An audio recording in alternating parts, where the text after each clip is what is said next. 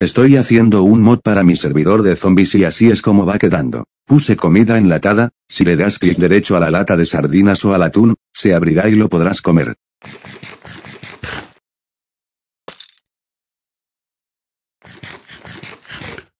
Pero con las demás latas no pasa lo mismo, ya que para estas ocupas un abrelatas. El abrelatas tiene 75 usos. Cuando un zombie te golpea, tiene un 30% de probabilidad de infectarte con el virus zombie. Como pueden ver ya hizo efecto la droga de la parte 1.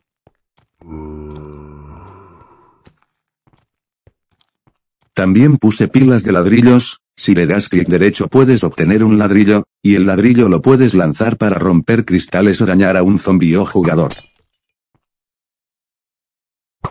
Ahora me dio efecto de resaca, por emborracharme en el capítulo anterior. Estos son los efectos que te da la infección zombie, cada 10 o 5 minutos te da un síntoma y tarda 40 minutos en transformarte.